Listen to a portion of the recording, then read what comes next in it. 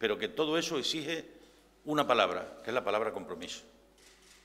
La erradicación de la violencia de género solo será posible algún día si no hay nadie en la sociedad que no esté firmemente comprometido con que eso se produzca. Mientras haya alguien en algún espacio, en algún lugar, dispuesto a mirar hacia otro lado, siempre habrá detrás alguien que sufrirá las consecuencias y tendrá seguramente nombre de mujer. Y es por eso por lo que creo que todo lo que podamos hacer por sensibilizar, eh, sobre todo a determinadas profesiones, del papel tan importante que tienen dentro de la sociedad a la hora de intentar que las cosas cambien,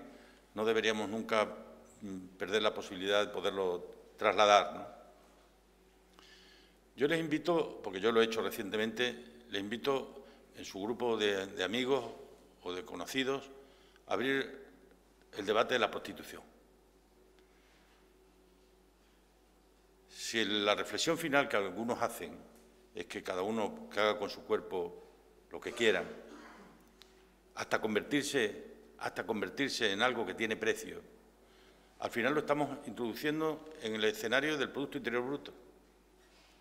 La mujer deja de ser mujer para convertirse en un producto, en un bien o en un servicio, que contabiliza en el PIB. Yo soy un firme defensor de la abolición de la prostitución porque creo de verdad que es un camino claro,